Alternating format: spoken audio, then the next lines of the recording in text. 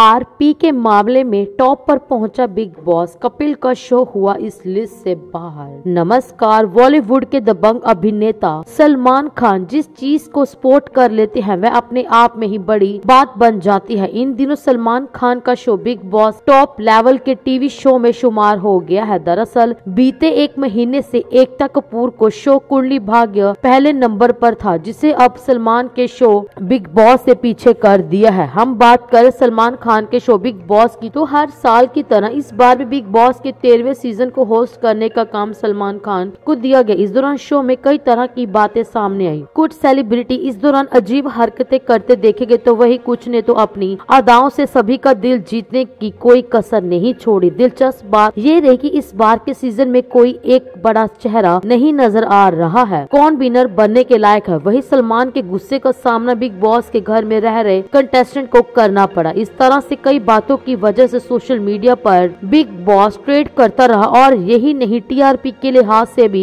यदि देखा जाए तो इस शो में आज के समय में टॉप तीन शो में अपनी जगह बना ली बता दे कुंडली भाग्य ज्ञान नागिन की हिंदी टीवी के सभी शो बिग बॉस के सामने फीके नजर आए वही काफी समय में टॉप पर रहने वाले show Kundali Bhagya big boss के नीचे दूसरे नंबर पर रहा और नागिन चार को तीसरे नंबर की जगह मिल गई आपकी जानकारी के लिए आपको बता दे की टॉप तीन शो की लिस्ट में कपिल शर्मा का शो शोभहीन तो नहीं रहा काफी समय से कपिल टॉप तीन में अपनी जगह बना लेते थे लेकिन समय समय की बात है आज कपिल के शो से ज्यादा दूसरे शो चल रहे हैं कपिल के शो की यदि बात करें तो वह नंबर छह पर आ गया जो कि कपिल शर्मा के लिए ठीक नहीं है